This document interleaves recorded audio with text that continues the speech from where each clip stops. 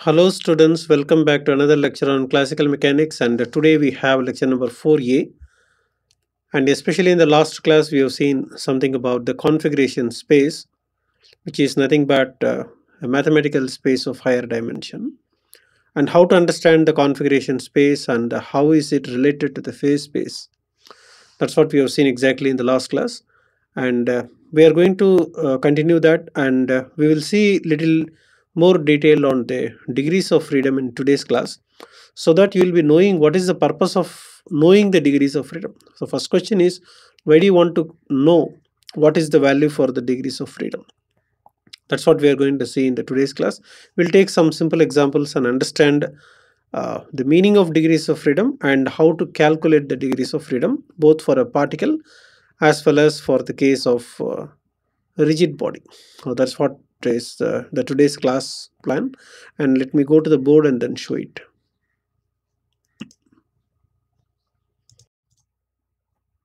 So here you can see that uh, what we have in the last class that part should be clear then from here we can move easily. We have small n representing the number of particles. We have small k representing the number of constraint. We can use it C for constraint or K for constraint it is a number actually. How many number? That is a k. Then the standard rule that uh, based on the yesterday's discussion we can understand the methodology of uh, calculation of the degrees of freedom as 3 times n minus k. That's what we have done in the last class but only thing is i did not write down 3n minus k in the last class. 3 why 3 comes into picture is because of the physical space. Physical space always has uh, 3 degrees of freedom at most maximum. So maximum you have to consider and then you know reducing that number will be taken care by the constraint. So now one one connectivity is coming into picture. There is some connection between the number of constraint in the system and the degrees of freedom. That is, so what is the purpose of constraint? That is a question that we ask. The purpose of the constraint is to reduce the number of degrees of freedom because you are going to subtract, right? So if there is a, if there are a lot of constraints are there so if there are a lot of constraints are there in the system then it is uh, in one way it is really good. So why it is good is because you are going to subtract minus k is there right? You are going to subtract that many number from the degrees of freedom. So essentially the problem will be a simple problem. That's what you have to understand. One degree of freedom means very simple problem. Two degrees of freedom means slightly complicated 3 degrees of freedom means little more complicated. So that is how you have to understand. The more the number of freedoms that you are going to have for a dynamical system, the more complicated the dynamics will be. So that is a general rule. And therefore, in the minimum, how many number you should have is minimum 1 should be there. I am talking about 3n minus k. Okay, 3n minus k should be at least 1. Greater than 1 is okay. But minimum 1 should be there for dynamics. Suppose if 3n minus k is 0, Suppose if 3n is also same as equal to k, then if you subtract then you get a 0. So 0 means actually it is a problem of statics. Uh, so nothing is going to move. That's the meaning. So if you are going to have number of degrees of freedom is 0, then it is a problem of statics. So there is no dynamics at all. That's the meaning. So you, you have to understand that a minimum 1. Minimum 1 is what we say greater than or equal to 1. So if the degrees of freedom is greater than or equal to 1, then dynamics is going to take place. That is first thing. And second thing is uh, the larger the number of degrees of freedom, the more complicated the dynamical system will be.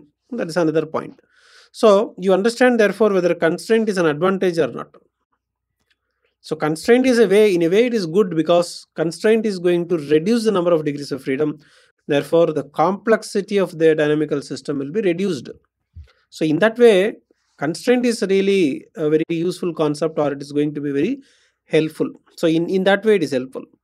But there is a disadvantage of having a constraint. What is the disadvantage is, suppose if the constraint happens to be uh, something with the time dependent, velocity dependent, or that uh, some kind of inequalities, all these things are coming means what happens is the constraint becomes non-holonomic. So that is totally, it, it is, it is totally, uh, it becomes unusable. So whenever the constraint is inequality or whenever the constraint is non-holonomic, then what happens is instead of simplifying the problem, the problem is really complicated. It becomes more complicated that it becomes an unsolvable problem. so you have two sides of the constraint one side of the constraint is okay constraints are very good as long as you have number of holonomic constraints so it's really good because it is going to reduce the number of degrees of freedom but the other side of the constraint is that suppose if the constraints happen to be non-holonomic constraint for example the presence of velocities which are not solvable see when i when i say the presence of velocity it doesn't mean that it is always not solvable in some simple situations even if the velocities are present they are solvable. But in many cases what happens is whenever velocity comes into picture uh, the constraint becomes uh, unsolvable. So velocity present means you can't close the eye and say that always not solvable. It's not like that so only if you have an equation with you, you can decide whether the whether the constraint equation is solvable or not. That is very important. So ultimate point is that constraint is both both the advantage as well as disadvantage depending on what kind of constraint you have. Okay, so that's all about that is the uh, first point that I would like to tell in continuation with the uh, last class work. Okay, whatever calculation that we have done, uh, namely that 3n minus k until the last class, it's all about the particles. Okay. Uh, uh, in fact i explained what is the difference between uh, uh, using the terminology particle and a rigid body. So rigid body is extended in space. Particle is the one that is supposed to occupy uh, almost uh, minimum space or we say zero space. Almost okay. Particle is a physical so you can't say exactly zero. Exactly zero is not possible but it is going to occupy a very small space where you where the shape doesn't enter into picture when the shape doesn't enter into picture we don't ask what is moment of inertia. So that point should be remembered. And therefore when whenever the terminology particle is coming into picture rotations are completely not discussed. We will not discuss about rotation which means that only if rotation is there there is a moment of inertia. And therefore uh, remember the word particle. And now next what we will do is that if you don't want to consider the particle then what to do so let me therefore go to another example here and then uh, let us assume now we'll we'll come to an assumption that we are going to make a transition from particle to rigid body. Let us forget about the particle and we are interested to make uh, use of the rigid body dynamics. Then what happens? So there is a big difference is coming into picture. In the case of the particle, only translation is discussed. We don't discuss anything about the rotation of a particle.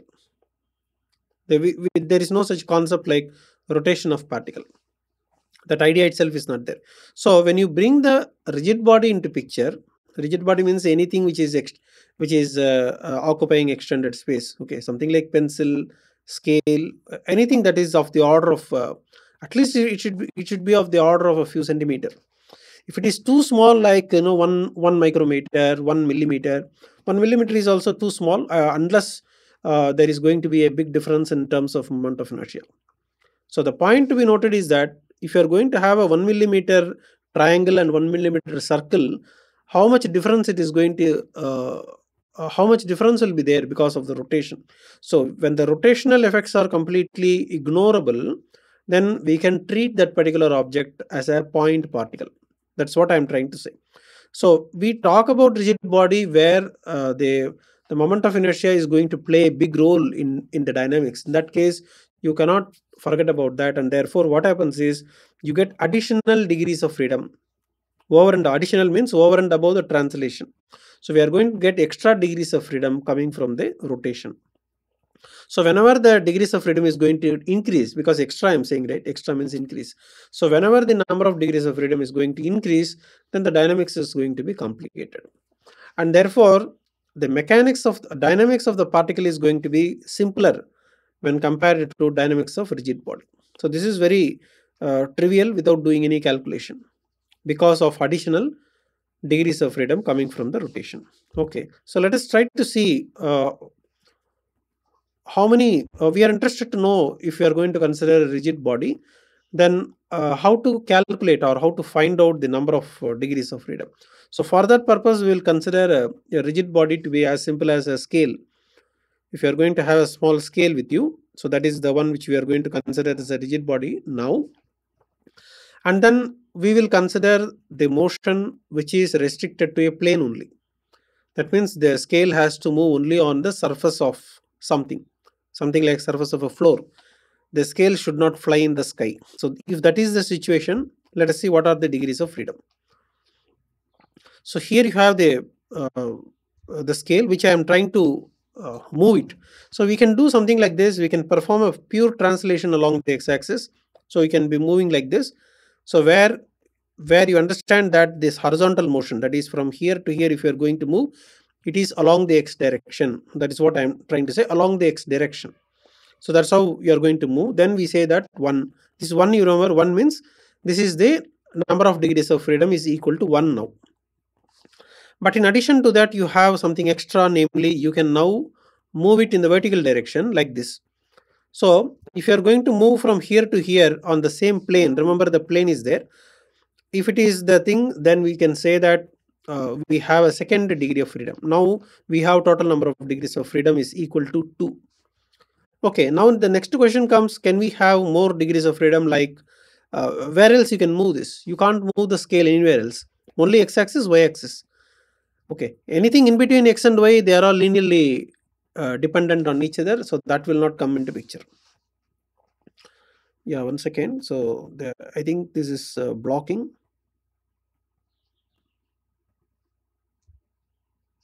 Okay so i'll i'll just show it once again because the let it be continuous. Okay. So first you have a pure translation along the x-axis then you will be having the pure translation along the y-axis. So 2 degrees of freedom is over. You are going to have one more degree of freedom now and that is coming from rotation. So now you can see that you can fix one of the axes and rotate like that. And this is the additional degrees of freedom uh, that is going to come which was not there in the case of particle. Now you see that for particle we don't rotate and then count it. So that is the place where you are going to uh, make extra degrees of freedom so therefore we will write down uh, what is the total number so what is the total number of degrees of freedom is uh, that if you are going to consider 2d planar motion that's very important for uh, for a 2d planar motion of a rigid body we will be having a total of 3 degrees of freedom out of which two of them uh, are due to translation and one of them is due to rotation. And similarly, let us therefore uh, make a similar uh, similar understanding in terms of uh, another body. Okay, I think that is the same conclusion I am writing here. So, uh, what I am trying to emphasize here is that same information is written here, but I am interested to make sure about one terminology, namely translation of the center of mass. The center of mass is the word that I am emphasizing uh, in this board. Whereas in the uh, in the printed version, I did not use the word center of mass. So the point to be noted is that when you are talking about translation of the scale or a rigid body, it means translation of center of mass only. So that point only I am trying to emphasize. When you so this is very important, not the translation of anything. It is a translation of the center of mass in the x direction that's important when we are when we are moving the scale in the y direction theoretically how do you have to understand is it is a translation of the center of mass of the rigid body if you remove the word center of mass then it is not correct. So therefore uh, uh, for uh, having the you know uh, the technical accuracy of the statement that we write the word center of mass is very important.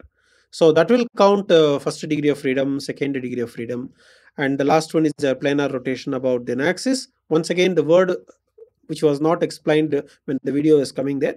So now i am emphasizing the word perpendicular. The axis is perpendicular to the plane.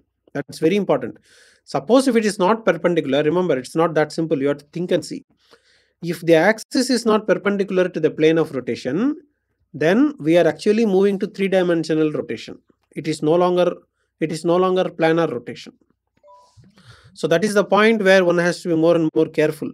Planar rotation means rotation restricted to take place on a plane only. That's the meaning. And once the axis of the rotation is not perpendicular, then the first point will be violated. Therefore, it is very much compulsory that the axis of rotation has to be perpendicular to the plane. And not only that, it will be passing through the center of mass of the object.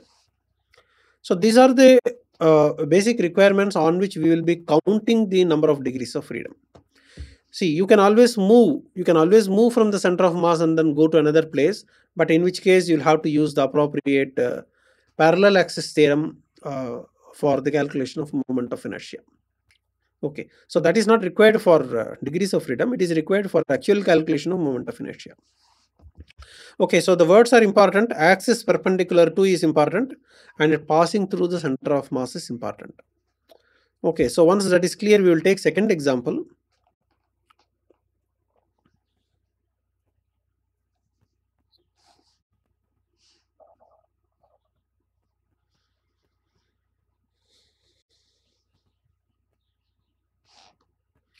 I would like to take another example uh, where uh, I want to show the three-dimensional three-dimensional object. Yeah, this is the one. So here what I'm trying to say is that we are going to now consider space motion. The word space motion means motion taking place in three dimension.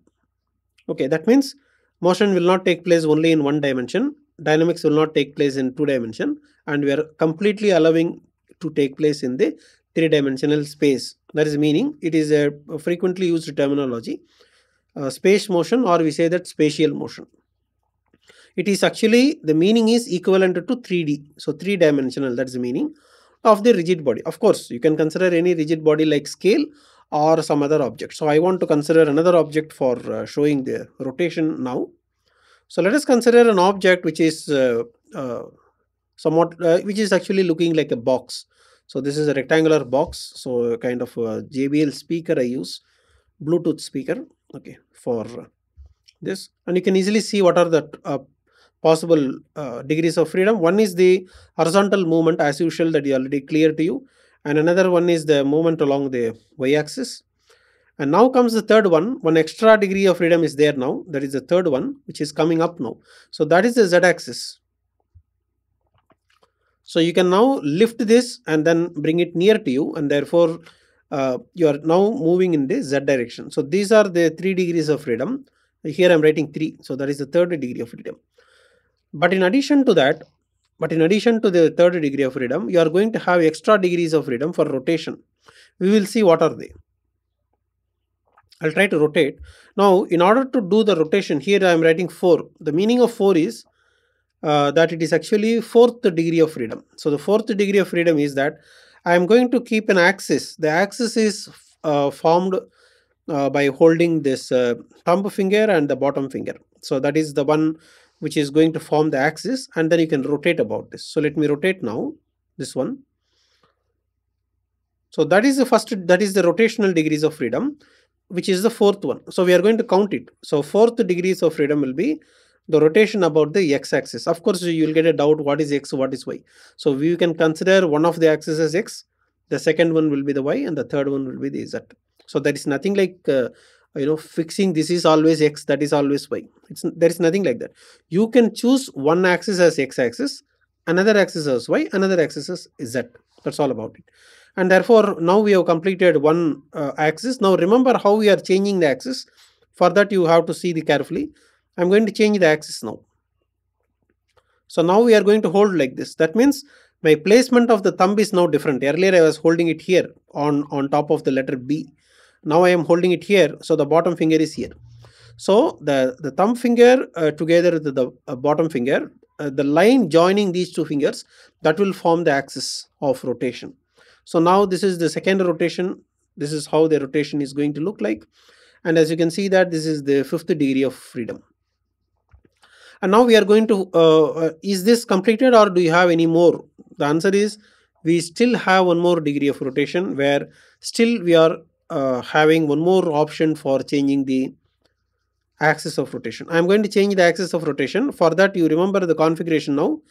This JBL is now um, straight away readable, right? It is in the readable. Now I am going to rotate it so you can observe the difference now.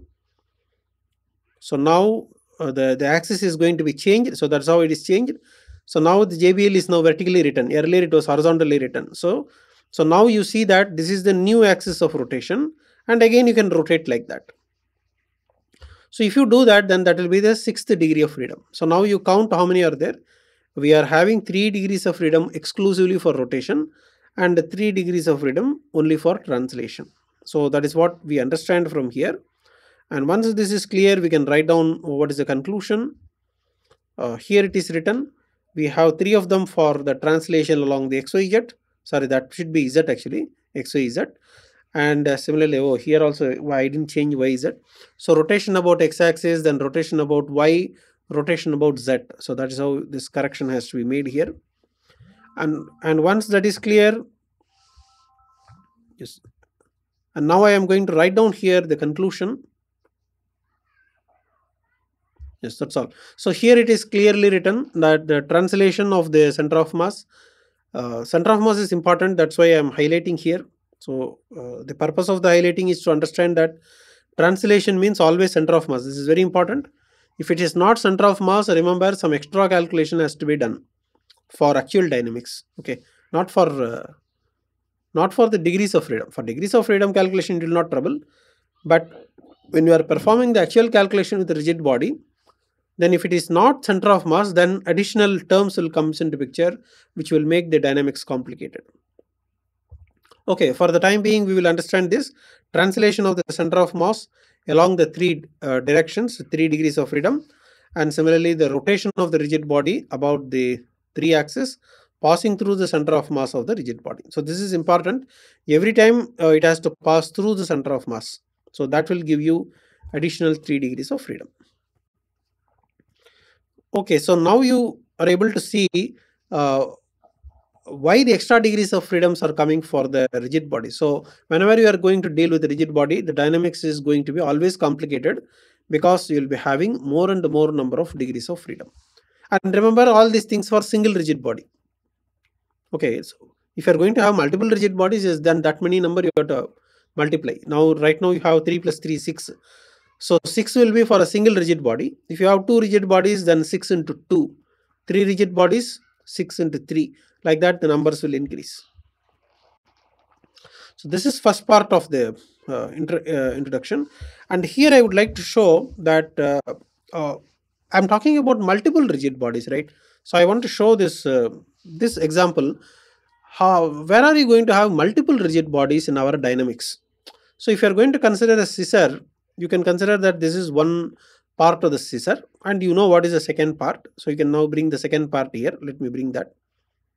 Yeah. So that is the second part of the so you must be able to now uh, appreciate where are the two actually. So this is the one part of the this is called one rigid body.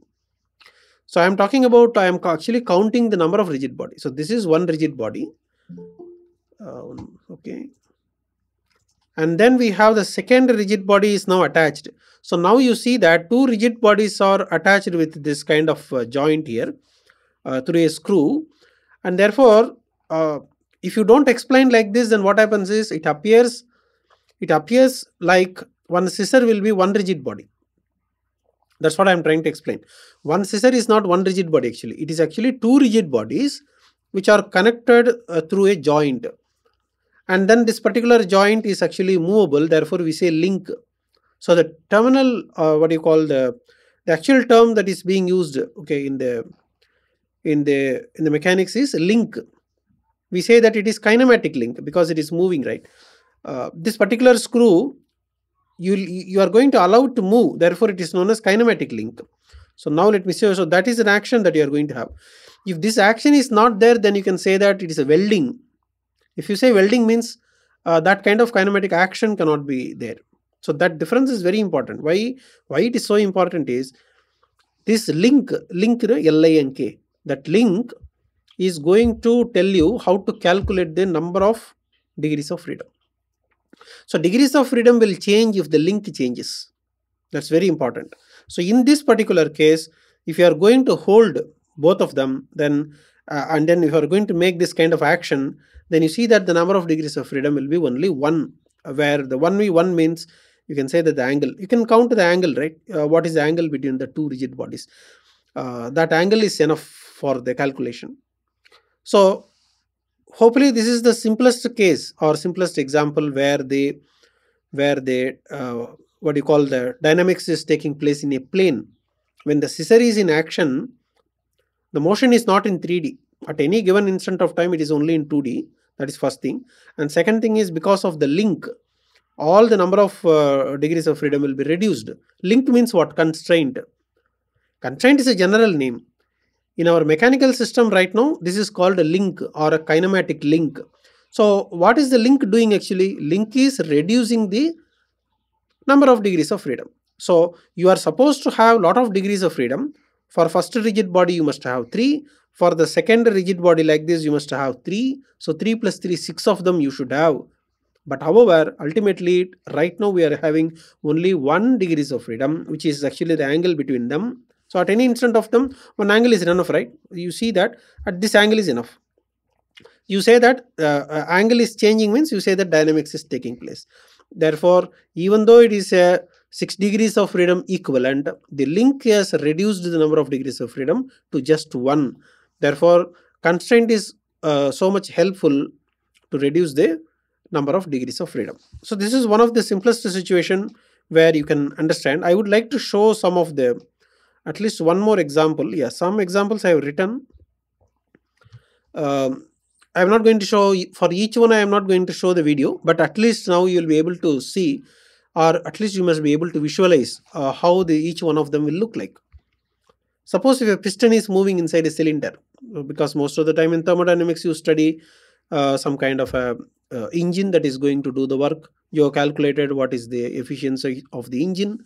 So if you are going to consider any thermodynamic engine then there is a piston going to be uh, present uh, which is going to move inside a cylinder. So that is an example of what is that example i'm talking about is it's an example of the kinematic links. So you understand what is a pair coming into picture. From the scissor you understand pair.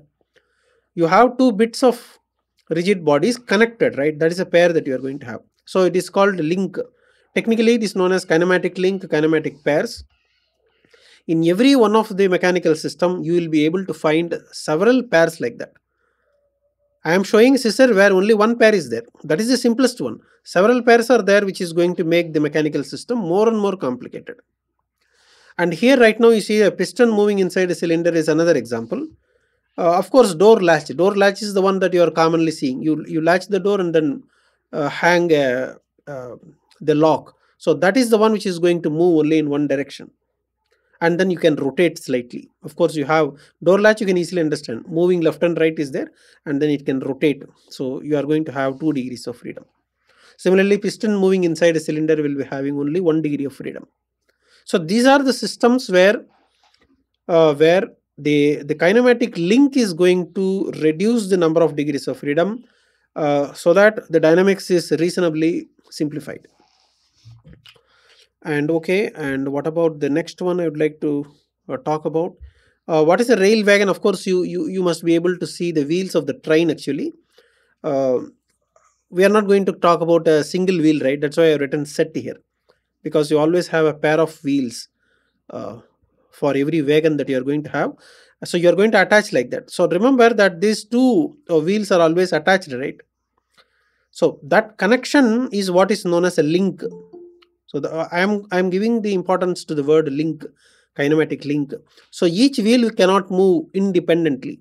Okay, if one wheel is rotating simultaneously, the second wheel should also be rotating along with the joint, or we say that axle. It's called axle, right?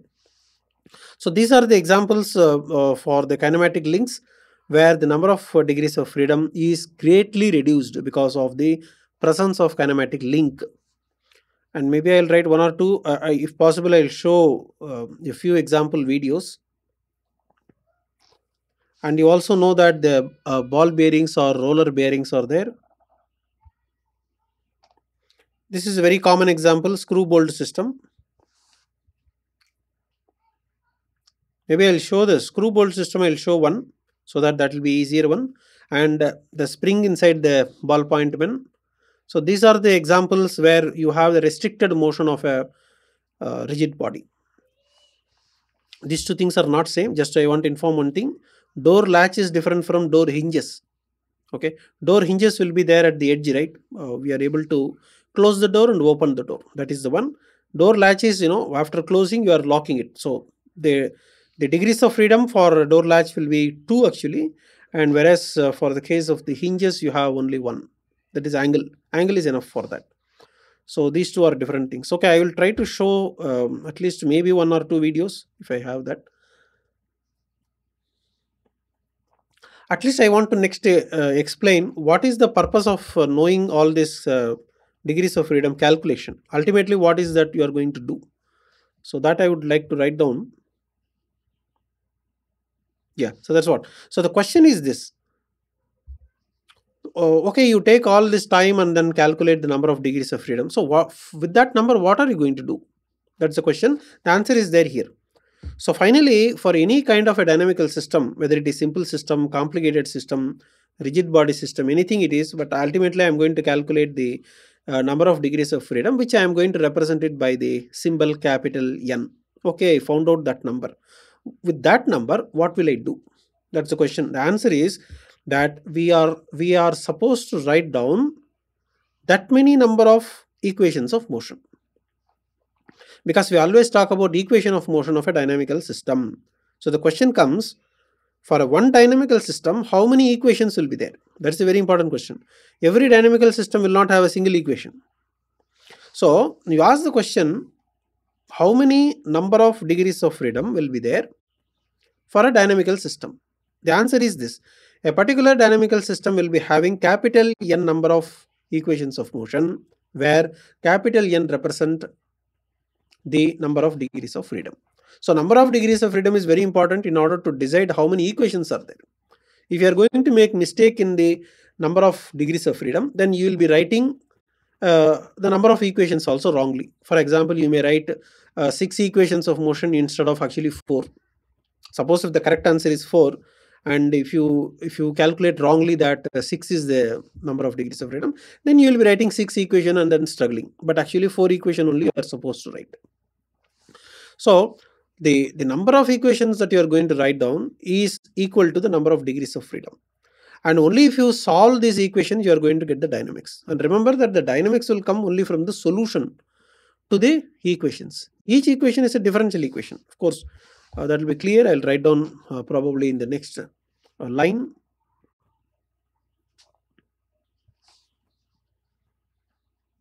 You reduce it, yeah.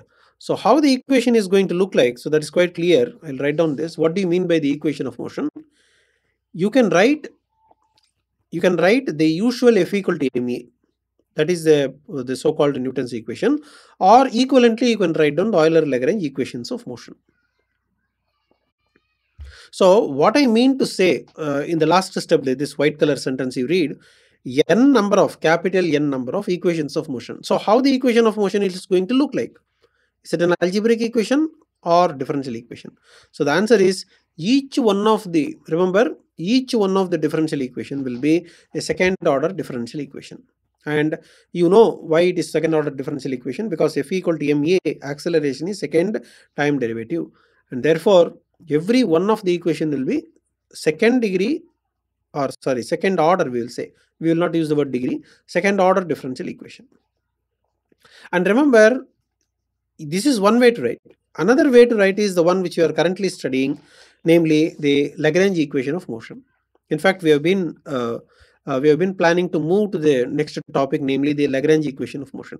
So, uh, in fact, if you remember what we have been doing from the beginning, we asked the question, we asked this question, right? Uh, why at all nature has to obey uh, the Newton's law, uh, which is given by F equal to ma. So the answer is it's Hamilton's principle because there exists a principle i mean uh, because the uh, the nature is uh, working based on the hamilton's uh, uh, variational principle uh, it ultimately turns out that the f equal to ma is the equation of motion that's what we understand from the hamilton's equation of motion. And based on that principle remember that based on that hamilton's principle it is possible to derive an equation of motion what we are going to call by the name euler-lagrange equation. So now right now uh, I did not tell what are they in the previous classes. That's why I'm right now telling that instead of the f equal to ma, we are not at all going to write f equal to ma, but instead of that, we are going to write down a set of differential equations, what are known as Euler-Lagrange equations, which are nothing but, of course, you can ask the question, what are they? They are equivalent to f equal to ma. That we will see later, but for the time being, you keep it like this. Both of them are equivalent. So we are going to write that many number of equations. Okay, I'll I will at least show one or two uh, rigid body system uh, that uh, takes place. Yeah, this is another example where you can see that uh, a wheel is allowed to move. As you can see that this is a rigid body. Can you say that a rigid body means always 6 degrees of freedom? That is what it is. And uh, this is an example where uh, you feel the constraint right away. Okay, this particular wheel, uh, you are going to attach this wheel to a car, for example. In that case, the wheel will not be flying in the space. And uh, so the wheel is going to roll on the surface of a particular surface only and therefore you can now count how many degrees of freedom are there. Now, if you see uh, this kind of uh, uh, expression, we'll go back here and then see from the beginning. Uh, what you understand is that it is rolling, but at the same time, you see that there's a translating. Translation means what? What you understand? Let me stop here. Yeah, but this still is okay. So what what you are able to see is that it is changing its position. The wheel is moving from one place to another. So it appears that there is a translation. Appears, remember the word appears. Not only that, the wheel is rotating because as you can see clearly that the roll is uh, making the uh, rotation also. So there is a rotation and there is also a translation. So the question is, do you want to say that it is having two degrees of freedom? So uh, initially, it will be be one will be tempted to make uh, a mistake like that. But however, you can easily see that we will not have two degrees of freedom, but instead only one degree of freedom is there. Two is not there. We are able to translate. That means the wheel is moving from one place to another. It looks like translation. Okay. At the same time, the wheel is rolling. So it appears that an angle is also there. So two degrees of freedom is there. Yes or no? The answer is no. We are going to have only one degrees of freedom and in fact uh, uh, why that reduction has take place is because of the bottom contact you see that there is a contact here between the wheel and the and the road so this contact is the one which we are going to call by the name constraint and that constraint is going to reduce uh, the number of degrees of freedom ultimately only one will be there if you know the angular velocity omega and from the radius because you, you know the radius of the circle so 2 pi r you calculate that will tell you how much uh, distance the wheel has moved from one place to other. Therefore, what happens is you don't require translation together with angle. Both are not required. If angle is there, it is enough. That's what I am trying to say. If you know only the angle, then it is possible to, uh, yeah, it is possible to know its dynamics. So this is one example where a single degree of freedom is there we will consider another another one so this is this is another one where this is a piston system you know that piston means uh, one smaller uh, cylinder which is moving into a larger cylinder so this is the larger cylinder and this side you have a small cylinder so the small cylinder will go inside a larger cylinder and uh, it will go inside it will come outside Now in that way you can compress a gas or whatever you want you can do usually it is used for the compression of the gas for example. So now we will see uh, the action. So it is going and coming as you can see that when it is going and coming you can now calculate how many degrees of freedom is there. Now as you can see that okay so this is not required okay. So when it is uh, going back and forth how many degrees of freedom is, is there means it is allowed to move only on the one axis and therefore a single degrees of freedom. But remember one thing that these are all rigid bodies. So the moment I say rigid body, remember that three three degrees of translation, three degrees of rotation, so many things are there. But however, the example that we have seen, it's a single degree of freedom example. The reason is so many so many restrictions are there, constraints are there. Constraint means everything is fixed, right? You see, all these screws are there, everything is fixed. Nothing is allowed to move. Only an horizontal movement along the x-axis is allowed and therefore that becomes a single degrees of freedom system. So these are uh, the examples of the uh, single degrees of freedom. And i will also give another example where it appears as if it is having large degree of freedom but however we don't have that so this is a nothing very simple one. This is a normal uh, we can consider that a screw is being screwed or you can consider that a bolt nut system. If you take a nut and then put the bolt and then uh, thread it. So then how it looks like? So it is going to look like this. See if you are going to thread it the you can see that the screw will come to the front and if you unscrew it it will go inside. Isn't it? So this is a very simple uh, system which is going to tell you now the question is this if you are going to I, we are interested to know how many degrees of freedom is there. Now the screw is coming in the, to the front and it is going back. So translation translation is there. At the same time the screw is also rotating. So rotation is also there. So do you want to count 2 degrees of freedom or do you want to say 1 degree of freedom? So that is how the question comes. And here also this is in this example it's a single degree of freedom problem. Because I'll tell you why it is single degree. Of course, you can easily feel if I am going to make one rotation, one full rotation, then this particular uh, screw will come to the front. So your rotation is now depending on the amount by which it is coming out. That is called one thread. One full rotation if you make, then one thread will come outside. So it is it is going to make in this direction movement. So if you make second rotation, it will come further outside. So that means the rotation and the translation are linked. So that linked is the constraint and therefore 2 degrees of freedom is not there for this problem also. You have only 1 degree of freedom. You only have to tell how many number of rotations you have made. If you made 16 rotations, then 16 thread that this each line, right? One one line is a, each one is a thread. So that thread will come outside. So that is what you understand. Like this, it will come out depending on how many times you are rotating. So number of rotation is enough to understand the translation and therefore only one degree of freedom. Okay, so these are uh, the examples which are uh, uh, fairly, uh, it will give you a good idea about the calculation of the degrees of freedom. At least I want to tell you uh, how the equation of motion is going to look like. Here I would like to write down one, one simple example.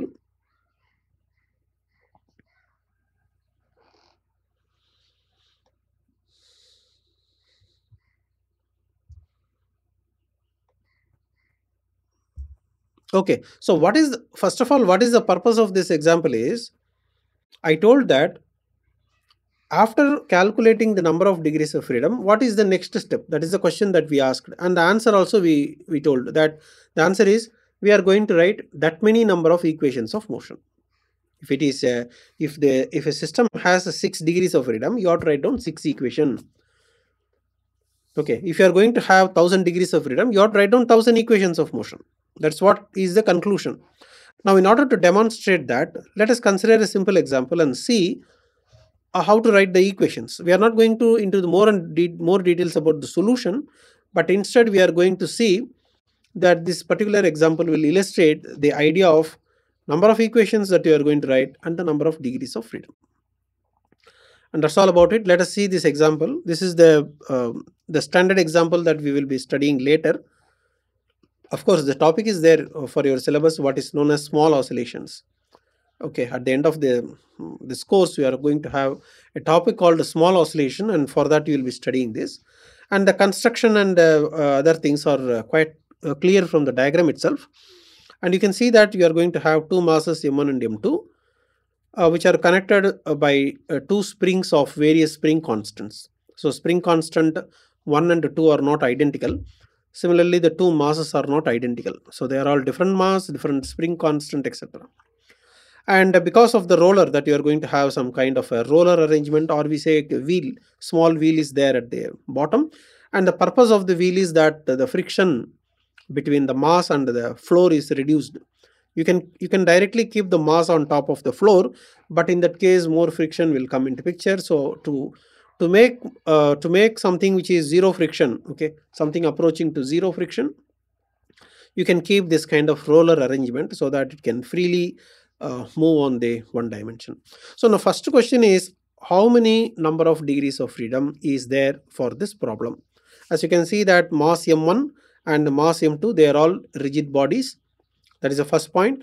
And because of the rigid body they are supposed to have 6 degrees of freedom each one of them. But however it is not that complicated because it is um, uh, it is all connected uh, through this particular uh, spring and it is allowed to move only in a particular direction.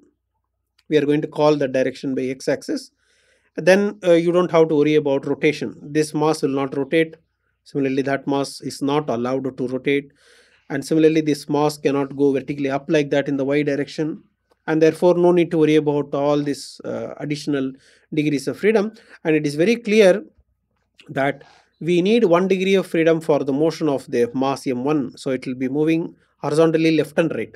So left and right movement means don't count 2, left to 1 and right 1 like that 1 plus 1 you should not count. Whether it is left side or uh, right side, uh, both of them are single degree of freedom because left side means minus, right side means plus. So that will not change uh, the degrees of freedom. Similarly, if you are going to come for the mass m2, it can move left side and it can move right side to the x-axis. So that will give you another degrees of freedom. So m1 1 degree of degrees of freedom, m2 1 more degrees of freedom. So you are going to have 2 degrees of freedom for this particular system. That is important. Let us see uh, a small, I will make a small change and then it will become a one dimensional, 1 degree of freedom. When it will happen, you see you have to make an imagination. The imagination is that you remove this spring here.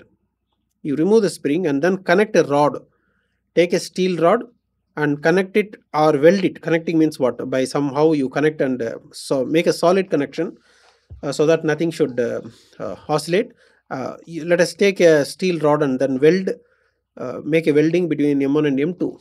So if the joint is like that, then the number of degrees of freedom is no longer 2 now it is only 1 okay. So because these two are joined by a solid rod here uh, both m1 and m2 has to go has to move together. Because of that reason 2 degrees of freedom will come down to 1 degrees of freedom. Okay that's fine. Uh, let us come back to the original state now where we have two springs.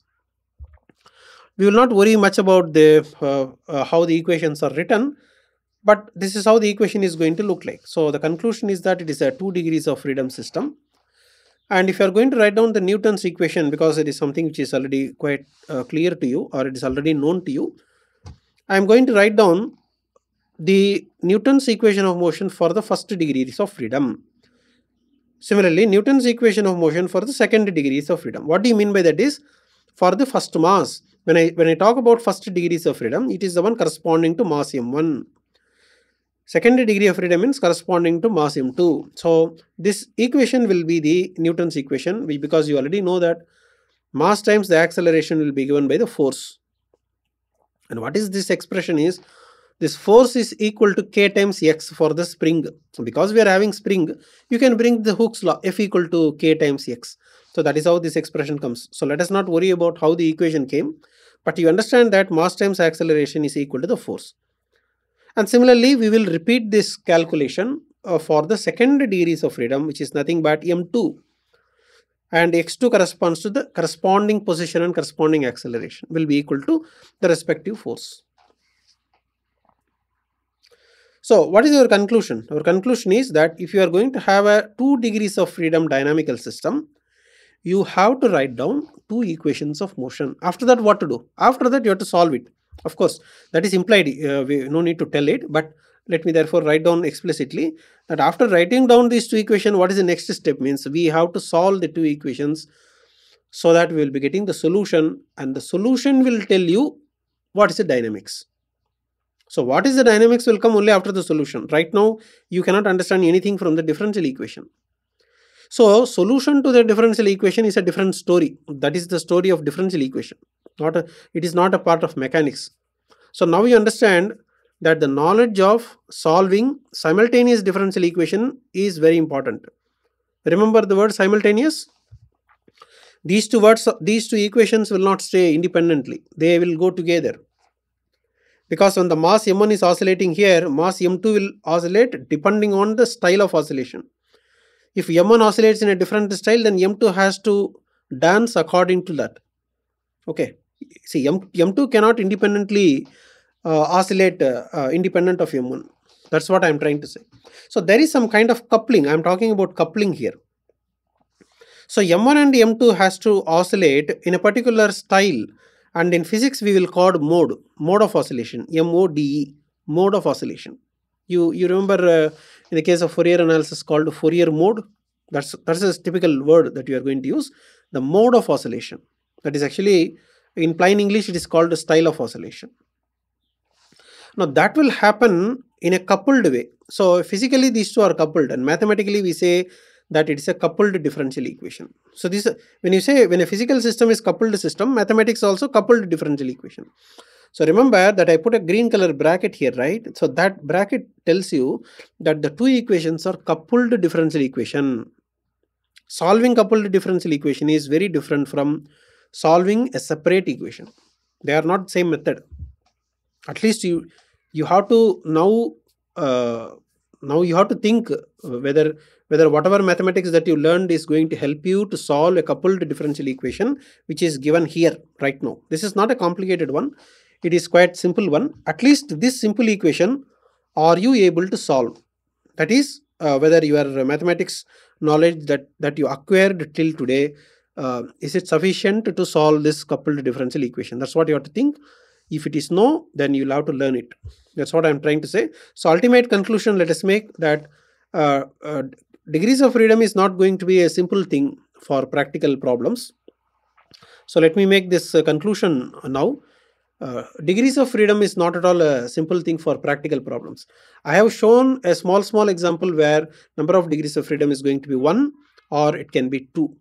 So that is a simple situation where you have connected rigid bodies. But in, uh, but in practical mechanical systems, the number of degrees of freedom will be large because number of link will be more and more. Are, I'm talking about the kinematic link.